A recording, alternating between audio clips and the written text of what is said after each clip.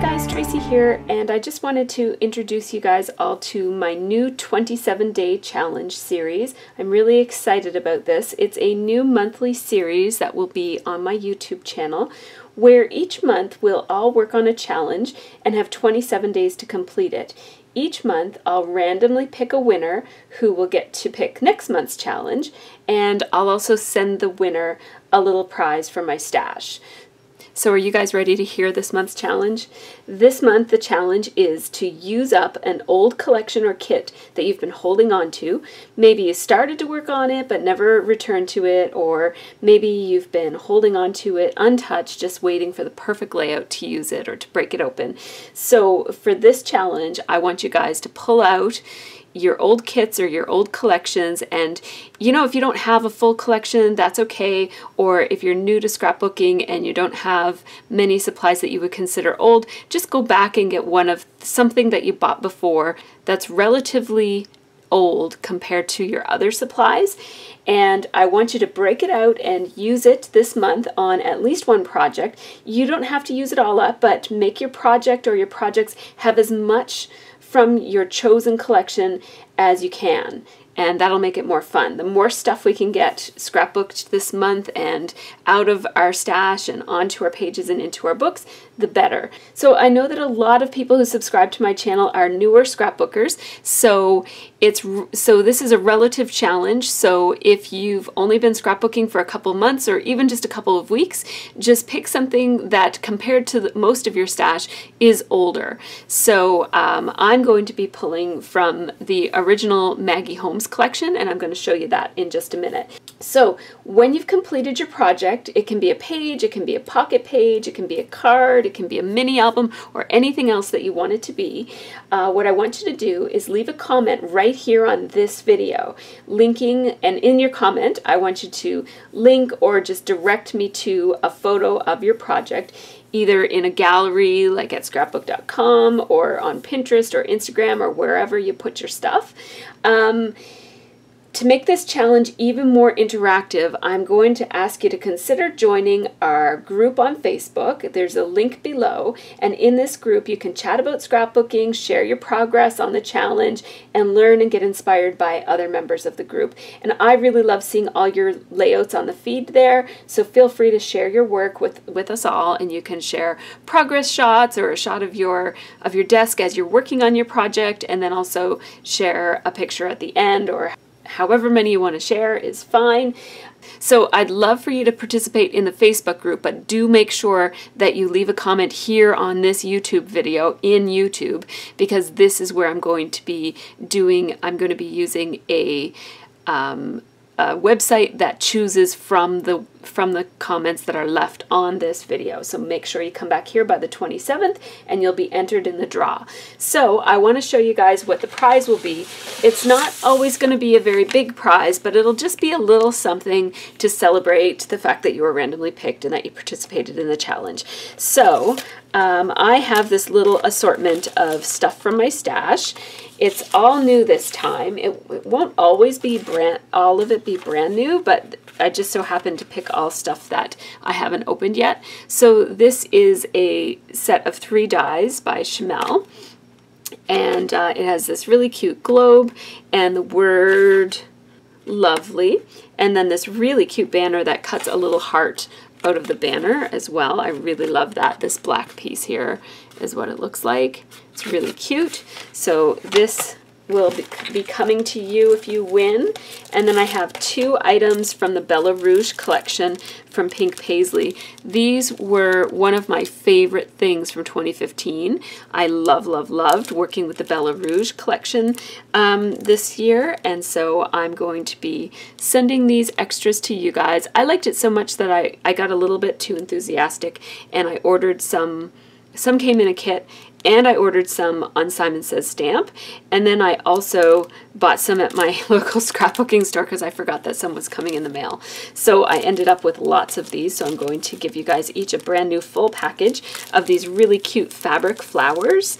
They're really awesome. I won't take them out of the package because I know that you'll want to do that. And uh, also these sequined butterflies that look, they're sort of like bows, but they're butterfly bows. They're really, really cute. So I'll send those along to you.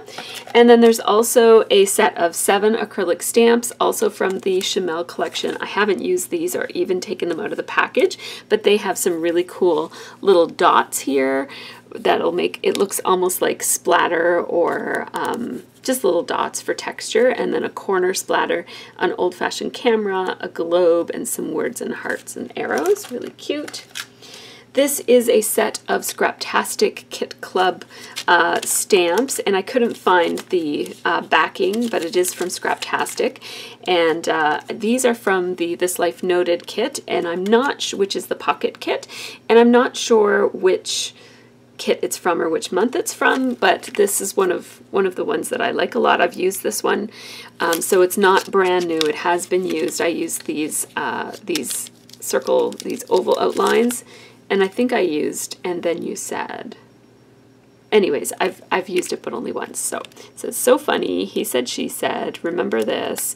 You say this all the time. I said, and then, and then you said, and then some bub some bubbles for you to put some quotes inside and some quotation. And then I have this die that I got from Spellbinders. They were at the crop I went to when I went to Crop and Create last year in March. And they gave everybody at the crop this really cute die. They actually gave two dies. This one is a um, little palm tree two palm trees.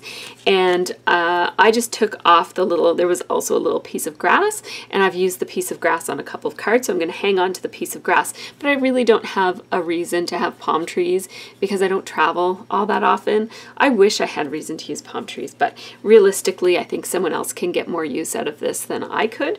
And when it comes time for me to travel I'll just either cut palm trees with my cameo or figure something else out. No point in me hanging on to that then I have a bunch of these little die cuts from Heidi Swapp. These came in a kit and I used some of them but not all of them and they're the resist so I'm not entirely sure if you're going to be able to see this but there are words written on them. So this one says feeling the love and there's a whole bunch of them in here, probably like 20 or more. Some of them are flowers and words and anyhow, you can open them up when you win them and have a look. And they look really nice when you mist because the uh, resist stays white and the rest of it turns the color of the mist. Then I have a set of Dear Lizzy die cut cardstock shape. It's never been opened. These are the items that come inside. And I can't and I can't remember what the name of this collection is, but it's Dear Lizzy. And then I just have a couple of tabs that are fun for using with your pocket pages or even with your layers. So I'll throw the, those in. And then I have three flare badges from that are designed by Caitlin Schaefer from a Scraptastic kit. That's what they look like. And they're like that on the back. And so I will throw those little goodies in as well.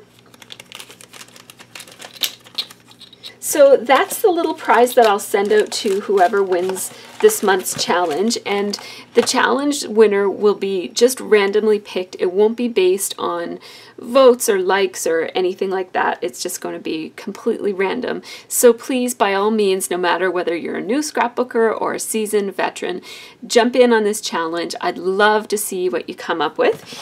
I'm going to show you just really quickly what I hope to use this month. So I have the Maggie Holmes collection, her original collection here from Crate Paper. And this was, um, man, I don't know how long ago this was, but I'll just show you the sheet that has all of the different papers. So remember it had that bokeh paper. I loved that and I bought a whole bunch of it. And it also had this really nice handwriting paper that I loved. It had this cloud paper that everybody loved, including me. These really, really cute cameras and then some beautiful florals and doilies and, and paper and that sort of thing. So I have a whole lot left over from this kit. I did use it when I first bought it, but then I kind of stopped using it. So I have some full pieces left and I have lots of scraps. I have lots of the of the die cut cardstock pieces left. I have, um, like I said, lots of full pieces left. These are all full pieces. And I bought more of this because I loved this bokeh paper so much. And the cloud paper was another one of my favorites. So I have all this left of this Maggie Holmes collection, and I love it so much, and I like how it all looks together, that I've been not wanting to break it up and put it into my stash, like sort it all by color and stuff. I also, it came with, the collection pack came with these stickers, which I cut the word stickers apart from the labels because I use, I keep my word stickers separate but I just pulled them out so that I could try to use them on this layout that I do this month. And I still have lots of the stickers left. And I'm not sure, but I'm pretty sure that these canvas these canvas frames were from that collection.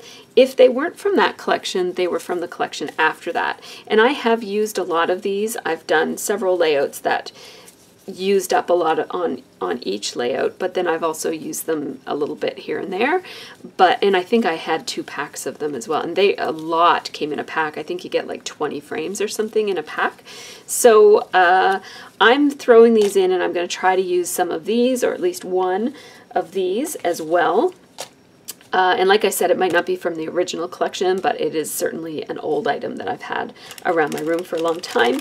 And then I have the die cuts, and this little baggie of die cuts includes both the Maggie Holmes collection die cuts and also the DIY collection die cuts. They seem to coordinate really well together, so when I was storing my dies, I just threw them all in the same bag because I thought I could use really any of these dies for projects that I make with this collection as well as projects that I make with the DIY collection. So I'm hoping to pull some die cuts out of this, use at least one of these frames and get some of these stickers and papers and die cuts and stuff used up in a layout this month. So that's what I hope to do, um, unless if I change my mind, which, you know, has happened before, but I really would love to get uh, some of this stuff scrapped so that I can then break this kit up into its, it's, it's a collection pack. It's not really a kit, but I'd like to break this up. So feel free to do what I'm doing, pick something ahead of time, and then try, challenge yourself to use it. Or if you just want to kind of shop your stash as you're scrapbooking, that's fine too, as long as you use plenty of items from an older collection that you've been sort of hoarding or either or just not getting around to using because you've bought new things since then. Um, dig this stuff out and get scrapping and I'll see you by the 27th. I want to see your projects uh, linked up in the comment below. Share on the Facebook group as, as we go along. If you start working on this today or tomorrow or next week, make sure that you take some pictures and tell us what you're working on and tell us what you're using and uh, we'll all get inspired and have fun this month. So take care and have a really great scrappy month.